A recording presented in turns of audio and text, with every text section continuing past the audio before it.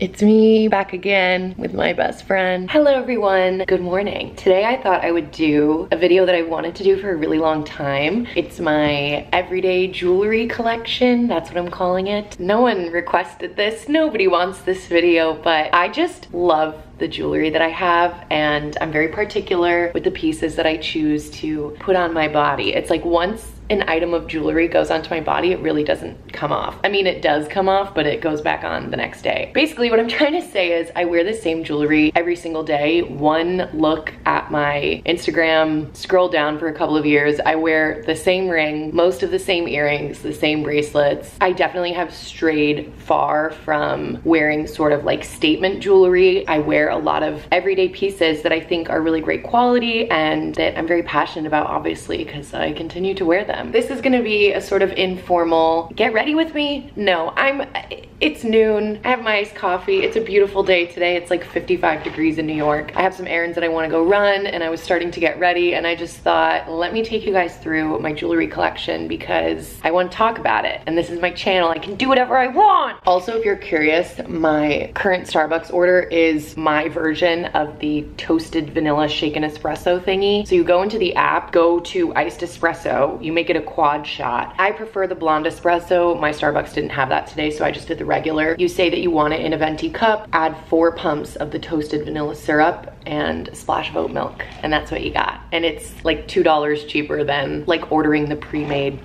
espresso. Anyway, let's get started. I guess I should start with my bracelets first because I've never taken them off. So they just stay on my arm. That means when I'm sleeping, in the shower, soul cycle, literally haven't taken them off since I got them. So the first one is this evil eye bracelet that was a gift from my friend Stephanie. She got it for me for Christmas, I think like two years ago. I wish I could remember the name. It's like a local Chicago jewelry designer. Um, I'm pretty sure it was a friend of hers. I will do a little digging if I can find the information I will definitely link it down below. This is a good place to mention that I try to wear some form of mati at all times. If you guys don't know, I'm Greek. People always wonder what I am. I get Russian a lot, different Nordic things. I am like half Dutch and Swedish and Irish, hence why I'm blonde and as pale as the piece of paper, but my dad's 100% Greek. My last name is Greek. I definitely wasn't raised as like a good Greek girl. I'm not a good Greek girl. Like I speak maybe five words. I've never been to Greece. I didn't really start eating Greek food until I was an adult actually, so don't come for me. Like looking back on my childhood, I think the one aspect of Greek culture that was like very heavily ingrained in me is the aspect of superstition. I think that goes for a lot of like Eastern European and Middle Eastern countries. Superstition is like really important and I just remember that's something that my grandmother probably like inadvertently passed on to me. Yeah, I've always been pretty superstitious. And amati is the Greek word. I think it's also Turkish.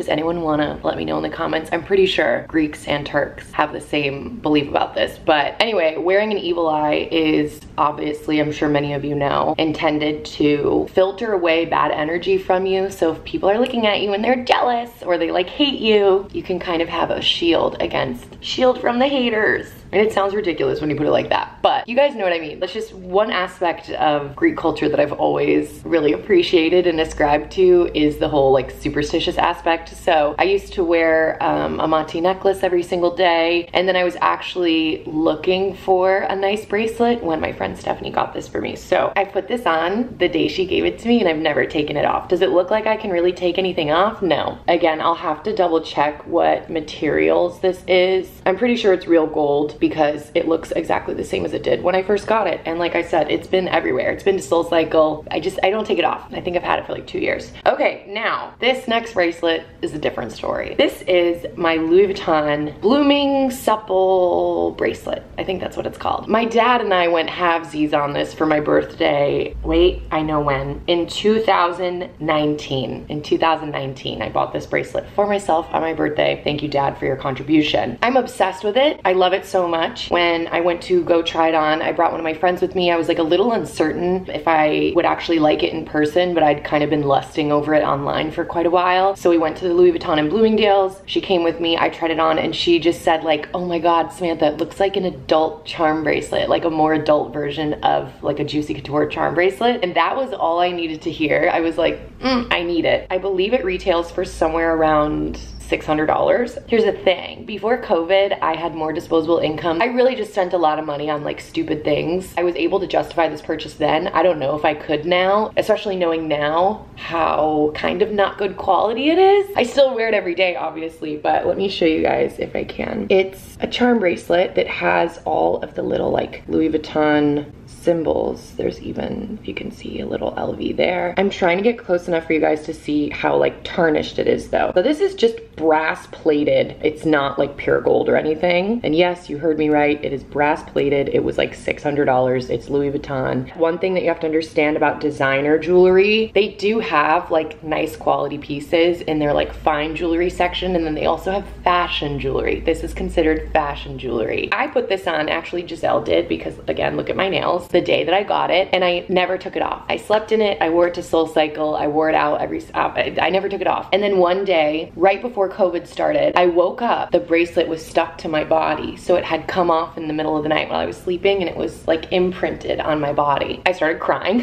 and then I immediately contacted Louis Vuitton. Let me tell you, it took so long, so much back and forth. Me emailing them, them emailing me back. Oh, maybe this was like the beginning of COVID. Yeah, because I wasn't allowed to go into the store. I remember. Yeah, so this was during COVID. It was sometime in 2020. I wasn't able to go into the store. They made it just very difficult for me to speak with someone about repair. And like I was sending emails with photos and I have like a liaison at Louis Vuitton and it still wasn't an easier process at all. And then finally at some point they said like you can come into the store, bring the piece and then they had someone like take very intense close-up photos and I was like, okay, I already emailed you photos, so I don't know what this is doing. But she sent them off and then someone from the repair team basically contacted me and said, this is like normal wear and tear. We won't fix it or replace it or anything. And like, I wasn't even really concerned about the fact that the plating had started to come off. Like I knew that that would happen. That was, you know, my bad for wearing it every single day. I was just more so like, can you fix it? Like there was a tiny D-ring that had opened and I just wanted it fixed. They were like, no, that process took like maybe three or four months. It was like most of the summer of 2020. I was like trying to deal with it. When I went home to Chicago that year, my dad and I went to a local jeweler by my dad's house that we used to go to when I was like a kid. Like my dad would get his watches fixed there, whatever. It's just like a random jeweler, okay? But it's like a family owned business and my dad has been supporting them for years. So we walked in, I showed them my bracelet and they were like,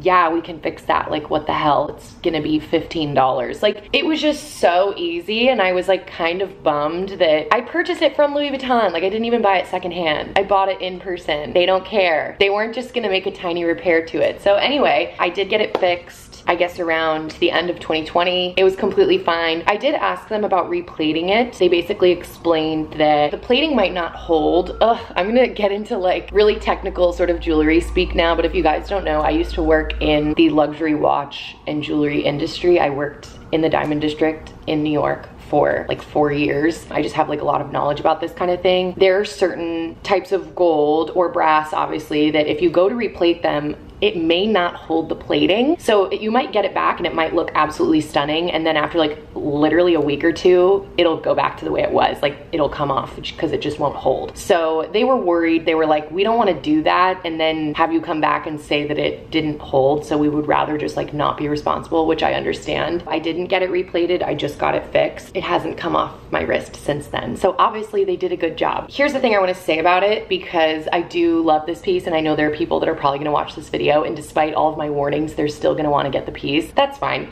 If you're someone that takes your jewelry off, like before the shower and things like that, you probably will have a much better time with this than I did. But like all that being said, there's so many times this bracelet has like caught on sweaters or like I'm out and I'm just like acting a damn fool. And I think to myself, like, I'm amazed that this is still intact and like looks fine. In a way, it really does withstand a lot of abuse by me. And I think it doesn't look that grimy definitely not from afar. But I just want to let people know, please be wary of designer pieces, especially if they're considered fashion jewelry. They're probably brass, they're probably not made with good quality materials. But all that being said, like I am just so obsessed with this. I just appreciate having something a little bit daintier to sort of like remind myself that I am mature Now I'm gonna really quickly breeze through my earrings because I think I have 13 piercings, but I actually have 12 because one of my piercings ripped. If you are someone that is gonna be squeamish about that, maybe you should just click out of the video because I have a rip in my ear like a pirate. Okay, so all of these earrings I leave in. I try to always take out my first hole because the ones that I normally wear in the first hole are these from Luv AJ. They are the Baby Amalfi tube hoops. I actually own multiple pairs of them. These are, in my opinion, the best go-to everyday gold hoop. They're fairly inexpensive. I think a pair is $40 and also you can usually get them on Revolve or even Luv AJ's website. They have like sales a lot so you can use like a discount or whatever. I love Luv AJ. I think they're great for everyday pieces that don't like tarnish. I think they hold up really well. I do take them out every night before I go to sleep and before I take a shower. I have been experimenting, I would say over the past couple of months with wearing other statement earrings in my first hole. Like I have these random ones my grandmother gave me. Sometimes I'll wear the larger version of the Luv AJ hoops. If I really can't be bothered to wear a different sort of earring, I just put these in as my go-to. I am somebody that mixes metals. Let's just get that out of the way. I don't mind. I mix my metals. I think it looks good. I like it. But most of these pieces come in both gold and silver, so you could definitely get whichever you prefer. Oh my god, this is so weird. This is my left ear, and yes, this is the one that has the rip on the third hole. Most of my piercings are from Claire's.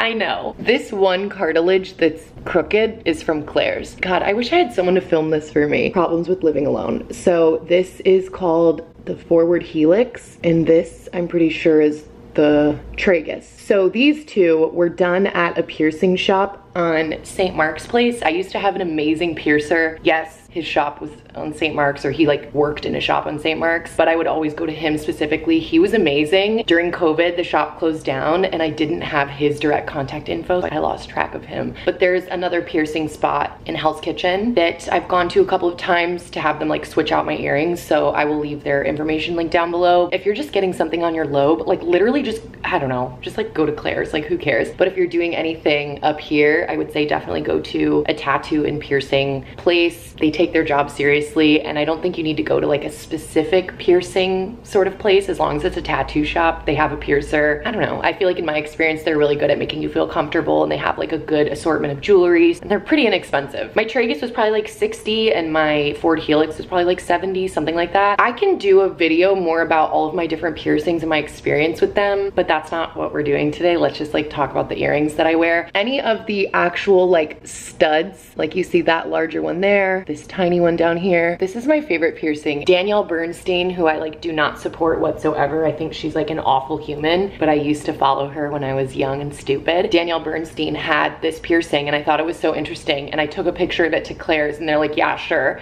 we can do that. So they added, hopefully you can see, they added a second piercing above my first. In any of these places where you see like a stud, all of the studs are from Sally Beauty Supply. That is my like secret. Maybe I should get diamond earrings at some point. I just have so many piercings. I'm like, I don't really need to do that yet. Seriously, these earrings I have sworn by since I was a kid. At the ice arena, like all of us girls, we would all wear these because they sparkled really nicely when you were on the ice. This is what they look like. If you have a Sally's in your area, definitely look for these. If I can find them online, I will link them down below. But these are stupidly inexpensive. They're literally Swarovski earrings. They're like $6.99, $7.99, something like that. And they come in actually different colors, but they also come in different sizes as well. I have like a larger one up here, and then I have the tinier ones over here. I always try to have a little bit of an arsenal of these at all times. If I ever want to switch anything up, I have. And then of course these two in the kind of more difficult spots, those are just from the piercer, like I can't change those.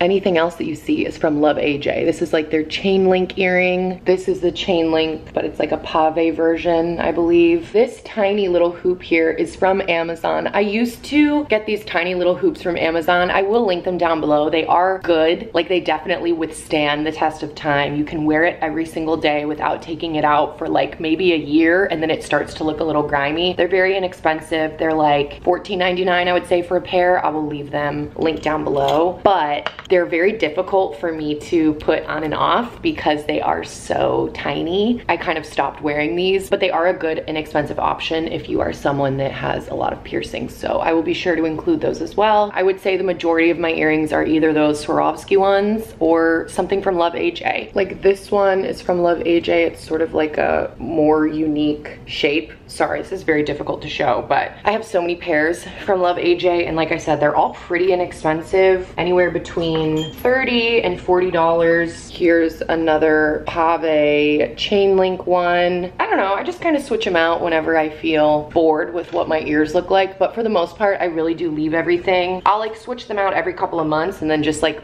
my new pattern. I'll change like which ones are a stud, which ones are a hoop. But for the most part, they just stay like that. And then I just focus on changing the ones in the front. Also, I have these from Fraser Sterling, which I've worn a couple of times. Again, only in the front hole. I also have these from Vanessa Mooney. Vanessa Mooney is another great place for jewelry. I used to wear their Alexandra earrings every single day and then I lost them at SoulCycle and I never replaced them and I left them in the locker by mistake. That was very sad. Vanessa Mooney has great earrings too, including this pair. It's like a heart and they say fuck off. The camera will ever focus on them. Yeah, they say fuck off. I only wore these once. I wore them to the club and I was like skipping around. They're just like the normal sort of hook earrings and I guess I was just flailing too close to the sun. I lost one. So if anyone ever found an earring that says fuck off at Butterfly Room, it was mine, but I don't think there's any question that of course it was mine. Summary is Swarovski earrings from Sally's are amazing. Tiny little hoops from Amazon I will also link down below. And then Luv AJ and Vanessa Mooney for the earrings that I wear in the front that I switch out depending on my look. Now let's move on to necklaces. I actually have been in the habit of not wearing a necklace at all for the past couple of months, I would say. So many times I would go to put a necklace on and be like, actually, I think this detracts from the outfit and I would end up taking it off. But I do own like a couple of sort of staple necklaces that if you go through my Instagram, you'll see I wore like 50 million times in a row. One of them is my Return to Tiffany necklace. I believe I talked about this in my thrift video. I got this on the Real Real for like 300-ish dollars. Definitely withstands the test of time. You can wear it over and over and over again. I never showered in it. I definitely slept in it a lot. It holds up very well. Tiffany has a pretty easy polishing service. Like you can just bring any piece that you want. If you live by Tiffany, they polish it for you for like 10, 15 dollars. It's pretty inexpensive and they give it back to you in a new pouch in like a couple of days. I feel like a classic silver piece from Tiffany is like a nice thing to have. This is a nice option. Again, I just haven't been grabbing it lately, so I'm not really wearing anything. Sorry, we had to change the camera battery. The other necklace that I used to wear to death. Honestly, I wore this before everyone else started wearing the knockoffs. It's the Vivienne Westwood Mini Bas Relief Pearl Choker. I think that's the name of it. I'll leave it linked down below. I started wearing this, I think at the very end of 2018. The reason is because Harry Styles started wearing a pearl necklace all the time and I wanted a pearl necklace. So I just like Googled what designers made pearl necklaces and I saw that Vivienne Westwood did and so I bought it. And now if you literally go on Etsy or eBay or Depop, you can find so many people selling knockoff ones for like $20 and it makes me very, very sad. I have considered repurchasing it just because I really did love what it added to so many of my outfits. I feel like especially in 2018, I was really dressing like 2018,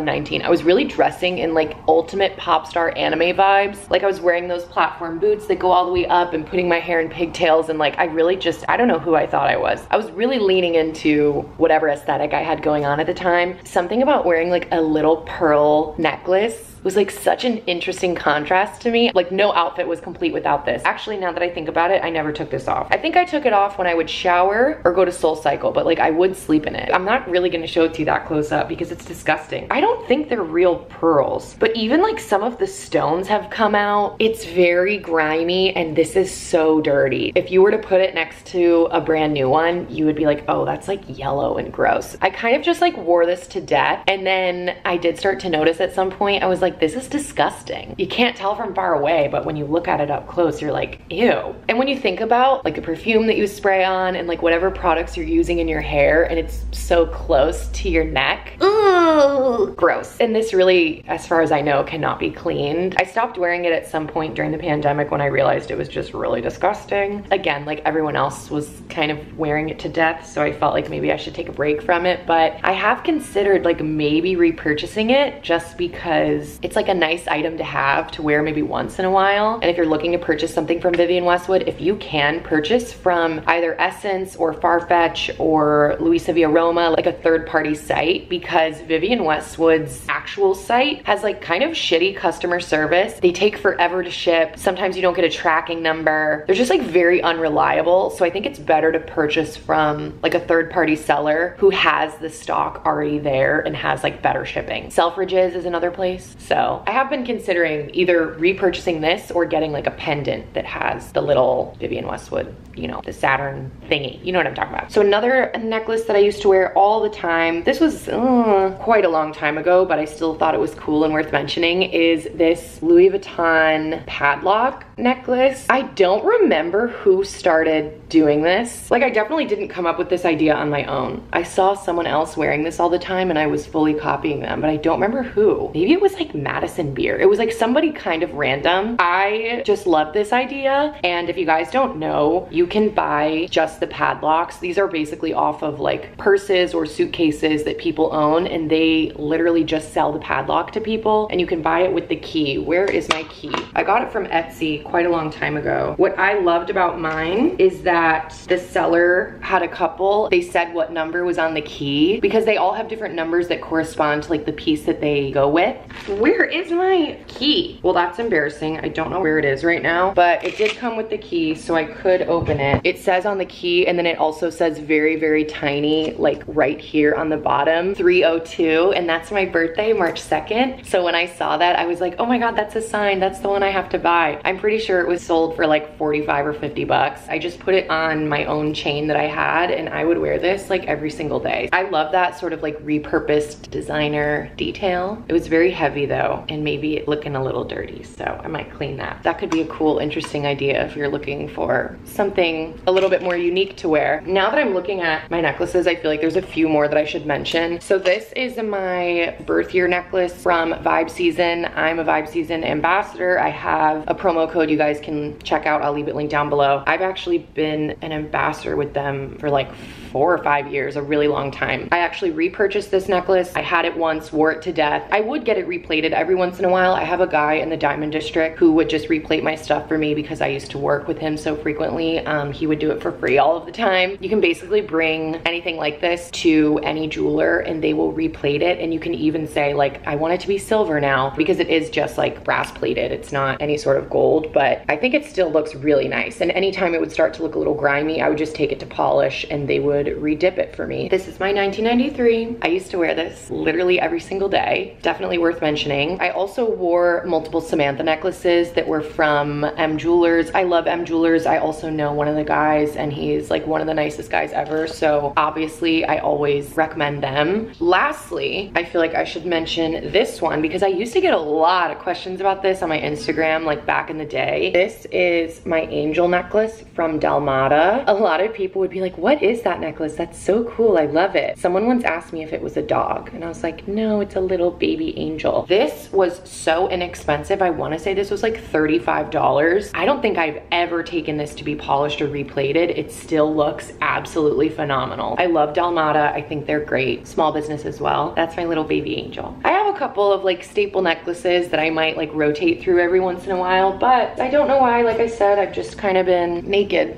up here for a while. That's just been the vibe. I don't know what to tell you. Let's move on to my favorite thing. I love my rings. I feel naked without them. I do wear the same rings every single day. These I do not wear in the shower. I do not wear to Soul Cycle just because your hands get so sweaty on the handlebars that I think it's like really uncomfortable actually. Otherwise, I wear these every single day. I love them to death. I have to talk about them. I have two Cartier rings. I purchased these both myself. I purchased both of them from The first one I bought for myself as like a birthday present. I wanna say in 2000, what would that have been? 2019. And then this one I bought around Christmas time I think, at the end of 2019. I think that's right. I'll double check. I have the Love Wedding Band, which is the thinner one. You can see that there. And this is in the white gold. I have both of these in a 52, which I believe translates to a six and a half. My advice to you is even if you're going to get your Cartier pieces secondhand, which I did and I have had a perfect experience with, even if you're gonna do that, I think you should go to the Cartier store, try them on so you know what your size is and know what width looks best on you. The Love Wedding Band is three millimeters and then the traditional Love Ring is five millimeters. It's having a hard time focusing, but it's obviously thicker. And I have the Love Ring in the gold and then the Love Wedding Ring in the white gold, right? Yeah, there is no such thing as silver. It's white gold, gold, and then platinum. And then you can obviously get them with diamonds, but that was just a little out of my price range. I believe these both retail for somewhere around like, I wanna say maybe 1200 and like 1500, something like that, but I got them on on Fashionphile in excellent condition, like virtually no scratches, like almost completely unworn for like 700 and like 850 I want to say. So I've mentioned this before when I was talking about handbags, but especially because I worked in the diamond district, I would like very frequently liaison with people from Cartier, from Rolex and Bulgari and like all of these really nice designer companies. I was like very often working with people from the Gemology Institute that is on 47th Street and just like different jewelers in the area. We had like our own gemologist experts that like worked in our office. I feel comfortable buying jewelry, expensive jewelry secondhand because I know that I have so many different points of authentication. On top of that, one of my best friends, Sam, used to work for Cartier. So like when I got the pieces, I showed them to her and she was like, yeah, no, these are perfect. And I got them like with the boxes, all of the sort of like cards and everything that comes with them. Some people I feel like need the extra peace of mind of buying it in person at Cartier. If that's you, that's fine. But I felt like I had such an arsenal of people who could make me feel comfortable about my purchase that I was totally fine to do it on Fashionphile. And you guys know I love Fashionphile. I speak so highly of them. So I've had a perfect experience with these. They're very easy to polish, obviously. I think they're like the perfect accessory for every day. I kind of thought that originally I would wear them stacked. And I guess when I first got them both, maybe I did do that. I wear the same rings every day and I put them on the same fingers. I have the way that I like it and then that's the way that it stays. Okay, so here's the thing. I used to wear the wedding band on my middle finger and this was like the vibe. I really loved doing that. But then when I got the gold love ring, I decided that would go on the middle finger. The wedding band I decided to put on my ring finger, but it's a little loose there. So what I do is I layer it, I stack it with this little like diamondy looking ring. That's from Amazon. This ring is fantastic. Amazon has a couple of like cubic zirconia rings that are just amazing. And I kind of swear by them. And I used to buy them for all of my friends as gifts because they would always say like, where are your rings from? And you know what's funny? A woman that I worked with in the office when I was working in the Diamond District, she literally said, oh, I thought that was a ring that like your boyfriend got you. Or maybe it was like passed down from your mother. I thought that was like her wedding ring or something. And I was like, girl, it's from Amazon. It was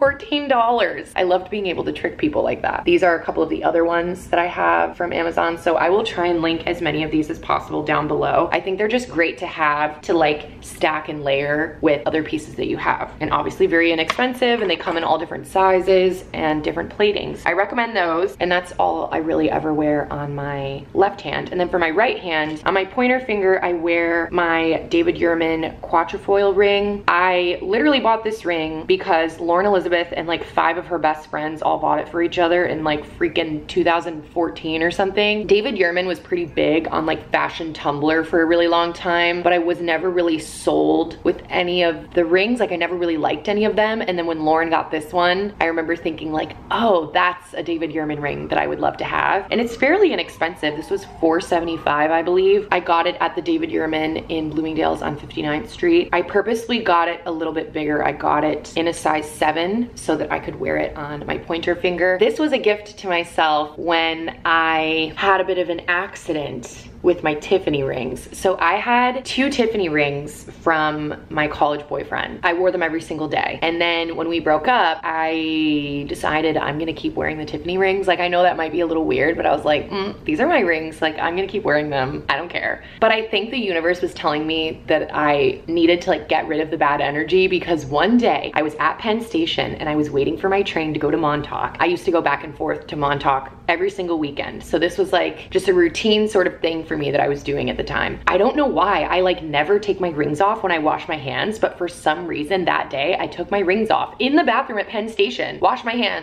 and didn't put the rings back on. And I was on the train to Montauk when I realized, oh my God, I left my Tiffany rings in the bathroom at Penn Station. Do you think I ever got them back? No. But was I like low key happy because I was like maybe the negative energy associated with my terrible ex-boyfriend and like that relationship, maybe it should have just been lost. Maybe that's where it deserved to live on forever in the bathroom at Penn Station. So when I came back from Montauk, I decided that that was the time I would go to David Yurman and buy myself a new ring to symbolize like a new chapter of my life. I've had this one actually the longest out of any of the ones that I'm talking about. I guess this would have been like 2016. I also really like that the quatrefoil, which is a four-leaf clover of sorts, does represent like luck and I think if we're leaning into that sort of superstitious aspect of my personality, I definitely really appreciated that sort of symbolism. This ring is always on my pointer finger. It's not very ostentatious as I think a lot of the David Yurman pieces are with those like huge stones. They're very like, mm, they kind of look more cocktaily and a little bit more gaudy and this is more appropriate for every day and I love it to pieces. Okay, finally, I have these two guys which I wear on my ring finger of my right hand. And these are the Gucci Ghost rings by Trouble Andrew. They have the Gucci G's and then also these little like skull guys. Again, this was another Lauren Elizabeth influenced purchase for me. My college best friend works for Gucci, like Gucci corporate. She's like in charge of some men's wear something something, I don't know. She gets like 40% off at Gucci. That's why I have these two rings. They're not that expensive though. I'm pretty sure one is like 200 and one is 250. So I feel like they're more reasonable as compared to like Cartier. I'll have to double check which is which, but they come in a small, medium, and a large. So the large is like even thicker. I'm pretty sure I have the small and the medium. They're very similar width to the Cartier. So I wanna estimate like five millimeter and three millimeter. They're sterling silver, okay? So comparable to like Tiffany's pieces. If I can find a photo of what they looked like when I first got them, I'm gonna insert them right here. They were so clean and just like shiny and glistening. They looked beautiful. After about a week of wear, they looked like this, like someone had basically keyed the ring. It very quickly turned into this sort of like grungy, scratched to hell thing. I showed it to my best friend and she was like, what the fuck? We immediately went to the Gucci on Wooster and we showed them and like two of the employees that worked there were like, oh yeah, I have that ring too. That's what it looks like. I was like, but it's sterling silver. None of my Tiffany's pieces have ever looked like this. And they're like, um, yeah, well, basically, moral of the story is they are silver and they are like theoretically like very good quality and very strong. It's a very malleable silver. Like I was kind of upset at first, but then I thought to myself, like, I basically got these rings for dirt cheap, so whatever. Once I got the second one to stack them, I had already anticipated that they would both end up looking like this, and now they look fine, and I don't really think anything of it, but there's sort of like a weird in-between period where like, it's super shiny and it's starting to get slowly scratched, and it really does look like you took your house keys to the rings and like fucked them up. And I don't particularly feel like it was anything that I did. I just felt like it was inevitable and like I said, now that I know other people that have the rings as well, theirs look like this too. If you kind of like embrace the sort of like grunge vibe of it, I think it's fine. But I just wanted to put that disclaimer out there because obviously, like I said, I got them for a discounted price. But if I would have paid full price, maybe I would have been more upset. Just because it seems like it wasn't something that I did. It just seems like it's inherent to the piece. Hopefully you can see that a little better, a little more close up. Like I said, it's not awful. I just feel like it was worth mentioning mentioning because it really did throw me off when I first got them. But now I think it's fine. So this is the current lineup. This is really how it's been every day for the past like two and a half, maybe three years. Once in a while, I will throw on this ring that I got when I did a collaboration with Verameat, which is a really cool independent jeweler here in New York City. I collabed with them like years ago. I got this piece as part of the collaboration. It says, do not touch might be a little difficult to catch that, but it says do not touch. Once in a while, I will wear it here if I am just in the mood to like wear a ton of rings. I used to be obsessed with Pirates of the Caribbean. Like I literally wanted to be Jack Sparrow, sort of. In middle school, I would wear like a ring on every finger, but they were of course all from Claire's and kind of crappy, so my fingers would turn green. But sometimes I think depending on how I'm dressing up, I find myself like wanting to call back to that sort of like piratey feeling. Maybe it's also because of the rip in my ear. And when I do get that itch to like wear a ton of rings, then I'll throw on this Verameat one as well and a couple more of the Amazon ones just to like fill out all of my fingers. But this is primarily what I wear every single day. And I don't really have any plans or any desire to add any more. I feel like this is enough. I love it. I feel super comfortable. I realized that I didn't even tell the story of the rip in my ear. Maybe if you guys want a video on like my piercings, like a story time, my 13 piercings that then turned into 12. I can do that. That seems like more niche content. And this, I just really wanted to focus on the jewelry itself. So hopefully you guys found that interesting, informative. No one requested this video. I just woke up and decided I wanted to do it. Actually, I've wanted to do it for quite a while because while I love experimenting with different brands and different trends, I'm always itching to like purchase more fashion pieces. Jewelry is so different for me. It takes me months and months and months and months and months and months to finally decide to purchase something. And then once I purchase it, it's basically on my body until it disintegrates. So I just thought it was worth going through and showcasing all of my everyday pieces. And I kind of like, we have like the Louis Vuitton, we have the Cartier, we have the David Yurman and the Gucci, which are obviously more expensive. But I'm telling you guys, like most of my earrings are from Sally's. My stacking ring is from Amazon. We have a sentimental sort of piece here too. So I'm proud of it. I have a nice little mix going on. Yeah, if you guys have any more questions about any of the brands that I mentioned, if you wanna see a piercing video, leave a comment and let me know like how I should go about doing that. I don't really know what exactly people would like to know, but I'm fine to talk about it. I've had this rip in my ear for eight years now. I have no intention of ever getting it fixed. I love it. It makes me feel like a pirate or like a wolf that has been in a fight. Anyway, that's it for now. Give this video a thumbs up if you enjoyed it. Subscribe if you are not already. Leave a comment down below of a video that you would like to see from me. Also, please go find me on Instagram. That's where I post the most. Um, also, my TikTok and my Twitter are linked down below and my SoundCloud, my Poshmark, my Depop, my Like to Know It where you can shop some of my outfits. Until next time, bye-bye. Bye kisses, goodbye.